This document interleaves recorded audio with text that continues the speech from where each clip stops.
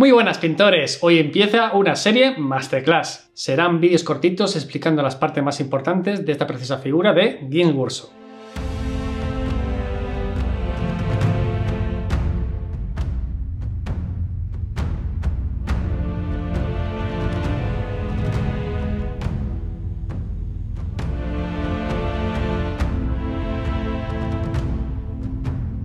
Hoy te voy a explicar cómo pintar la piel del caballo, pero con estilo del caos. Así, si ya está listo, pues vamos por ello. La figura ya la tengo imprimada en negro, usé el spray negro de Vallejo.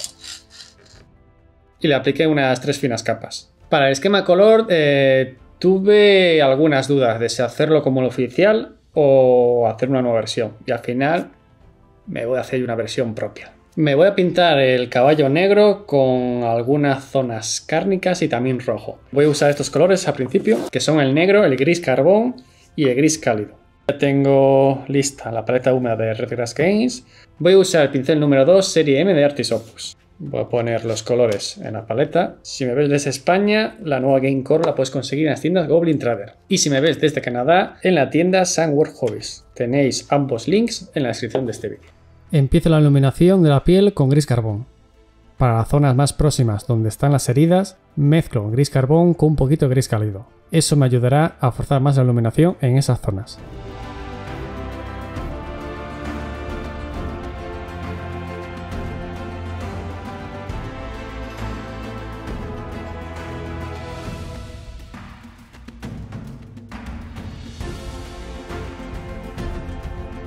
Tienes que tener mucho cuidado en esta iluminación, porque si te pasas te va a quedar muy gris, y no queremos eso.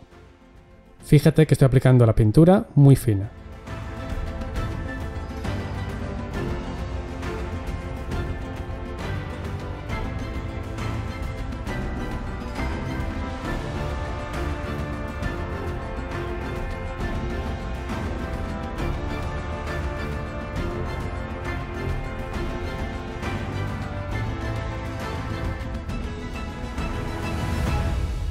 Para el pelaje añado más gris cálido a la mezcla, ya que quiero que esas zonas sea un color más claro.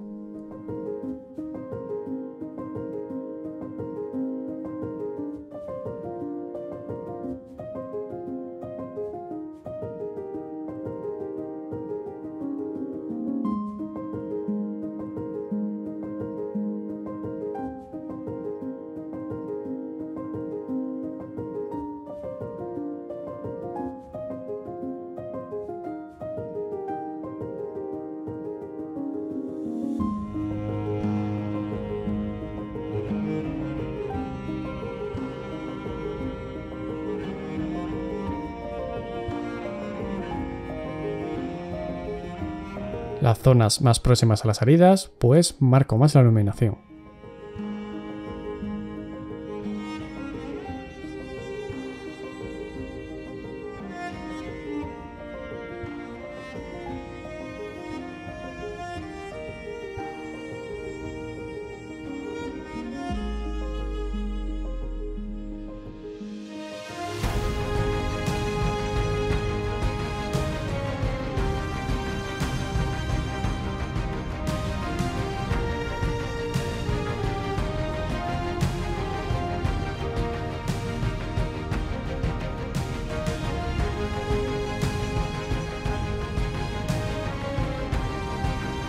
Voy a dejar las luces así, aún le falta muchísimo curro y ahora voy a pintar el color base de los granos con pus y las zonas cárnicas interiores del caballo. Voy a usar el carne rosa y el marrón peste. Importante, a la hora de pintar esas zonas hay que usar la punta de pincel. Así vas a obtener una mayor precisión.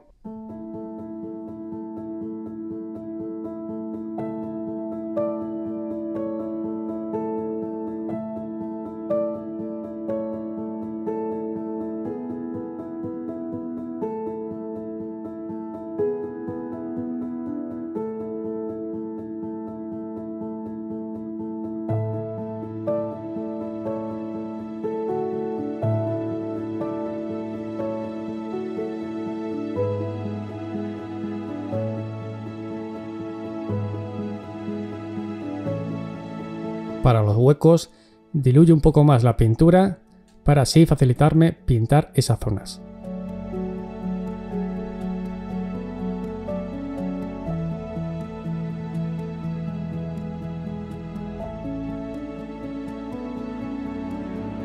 y color base aplicado. Con kaki y un poquito de gris carbón pinto el color base del cráneo.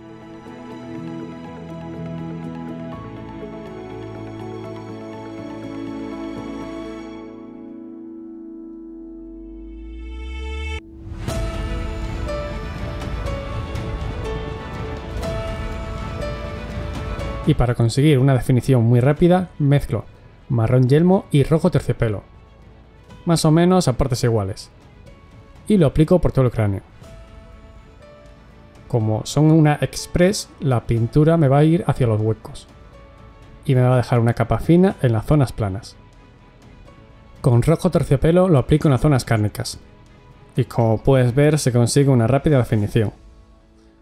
Express Color es una línea que también la puedes usar para pintarte minis a un nivel alto. Yo te recomiendo que pilles algunos colores y los pruebes. En el canal tienes vídeos usando con el aero, con la técnica del slash chop, veladuras, un largo etcétera.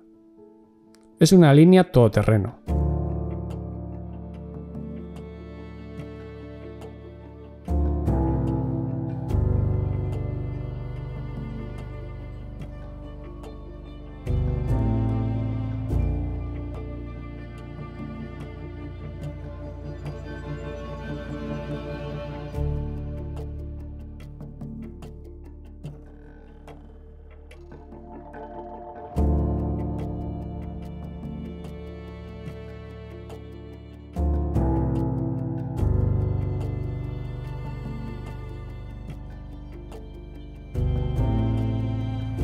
Para las luces del cráneo uso el color kaki y lo aplico como si fuera manchitas, nada de pintura homogénea. Lo importante es conseguir una textura.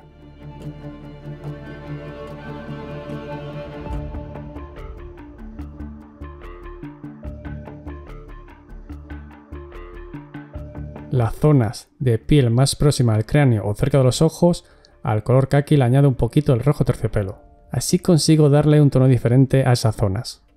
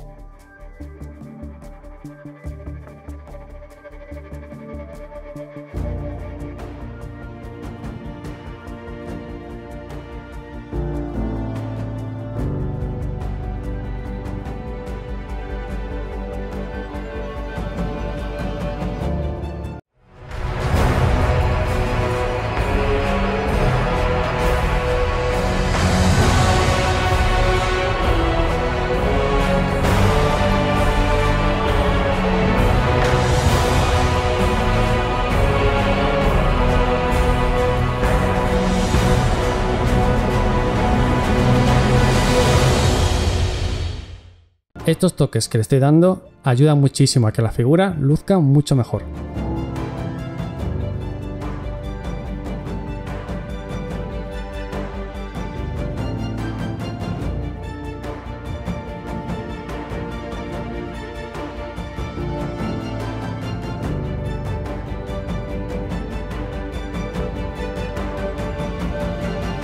La piel del caballo ya está pillando ese tono asquerosillo y ahora voy a iluminar los granos con pus y también las heridas internas. Pongo la paleta húmeda el amarillo tóxico y la carne pálida. Y voy poco a poco trabajando las luces de los granos. Y fíjate bien que estoy usando la punta del pincel, así obtengo una mayor precisión.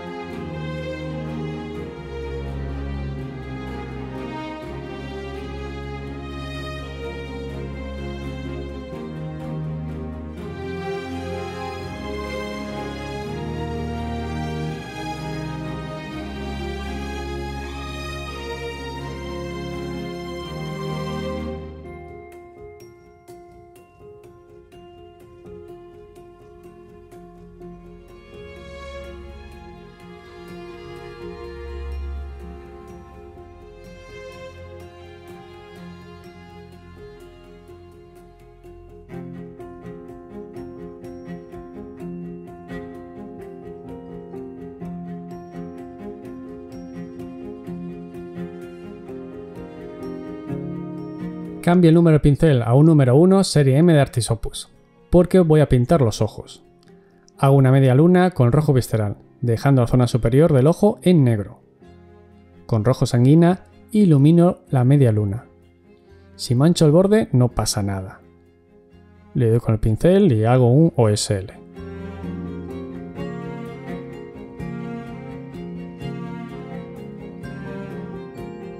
Con el color carne pálida pinto un punto de luz en la zona negra del ojo. y una pequeña iluminación en la media luna. Así el ojo resalta mucho más. Las esferas que tienen en la pila del caballo, pues lo ilumino con la misma mezcla que usé para los ojos.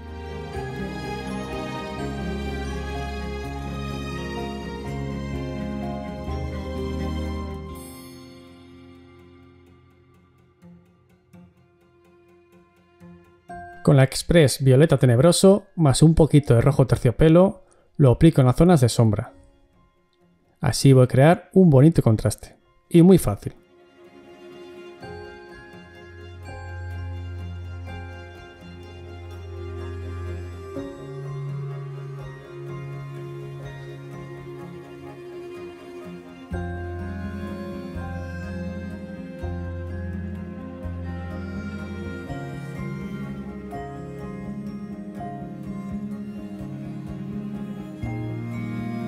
Voy a dejar la piel así de momento, ya que necesito pintar el resto de las partes para saber cómo continuar con la piel.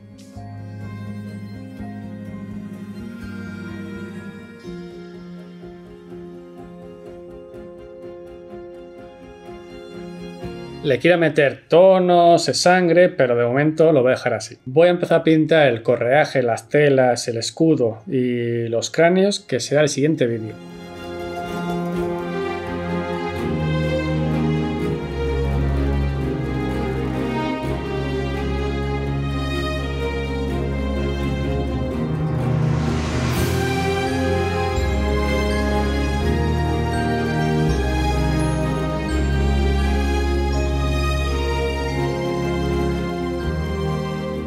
Espero que el te haya gustado. Ya sabes que cualquier duda que tengas me lo puedes dejar en los comentarios. Yo ahora voy a seguir pintando y nos vemos en el siguiente vídeo.